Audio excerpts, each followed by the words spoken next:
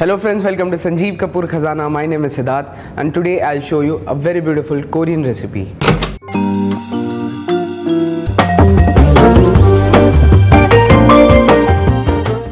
The name of this recipe is Korean egg rolls and for that we'll require eggs, coconut oil, milk, spring onion chopped, carrots finely chopped, asparagus sliced, dried shiitake mushrooms soaked and sliced, chopped onions, salt, crushed black pepper, vinegar.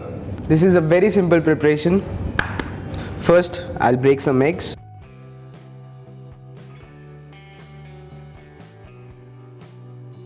Now into this, I'll add some seasoning that is salt, some crushed black pepper, milk, little bit of vinegar and I'll give this a nice mix and after mixing this I'll strain the eggs.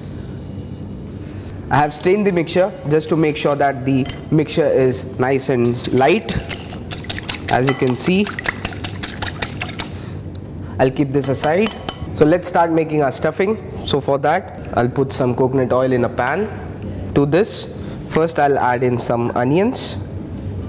Now we need to saute this till the onion turns pink in color. And now to this I'll add in the shiitake mushrooms which are sliced.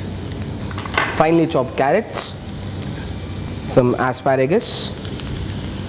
Now after adding asparagus to this I'll add spring onion greens. Just give this a toss. Now to this I'll add salt some crushed black pepper and give this a toss. And that's it. This is done. I'll keep this aside and now let's start making the omelets. And to this I'll add little bit of coconut oil.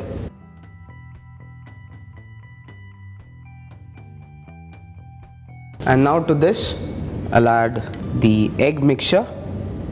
You need to see to it that the egg is 75% done not fully cooked. And now at this moment I'll put the mixture over here and now taking a spatula you need to collect the edges and keep folding it.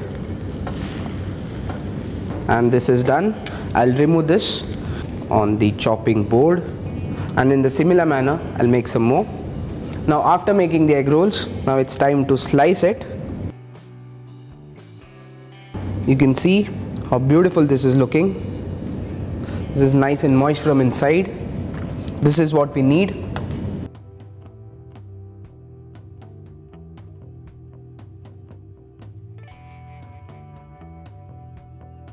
now after plating this the only part left is tasting. Mm. the moment you eat it it just melts. Beautiful flavor. Amazing. Do try this recipe.